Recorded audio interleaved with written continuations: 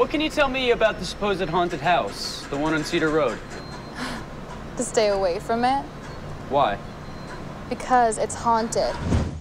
The paranormal activity in the house is so terrifying that every family that's tried to live there has left less than 21 days after moving in. This little boy went mute just like the family that was living there back in 1977. Yes.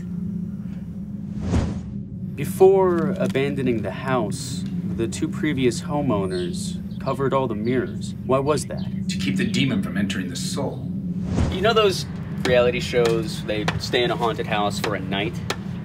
We're gonna stay in this house for 21 days. I really want to start to see some activity. Careful what you wish for.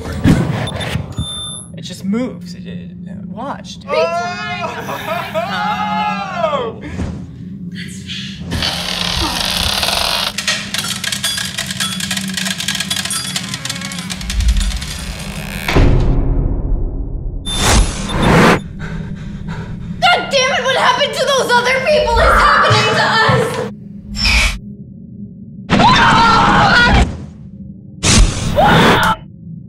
Do not talk to them, okay?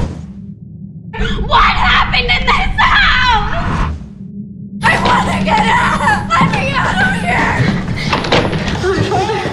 Lord in heaven, help me, thank you. I kingdom come, help. Deliver us from evil.